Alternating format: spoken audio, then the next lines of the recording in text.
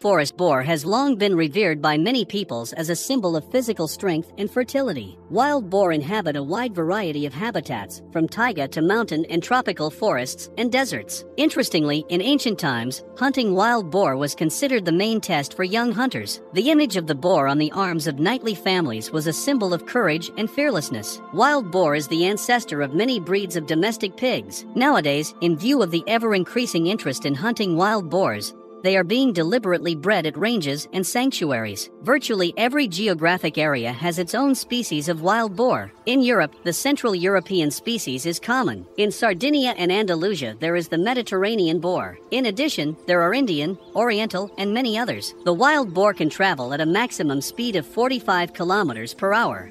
The boar is a nearly omnivorous animal, eating roots of plants, fallen fruits, nuts, insects, as well as rodents, snakes, frogs, chicks, and eggs of birds. An interesting fact is that wild boar are not affected by snake venom, so they can easily eat a snake. The wild boar, despite its apparent clumsiness, is an excellent swimmer. The boar's family is matriarchal. Females are in charge and males are in the background. Boars are herd animals. Usually, the herd is populated by females with boars from the previous year's hatch. The piglets are striped until they are three months old. A low mane crosses boar's back from head to tail. It is a fact that the adult boar lives alone. It only comes to the herd during mating season.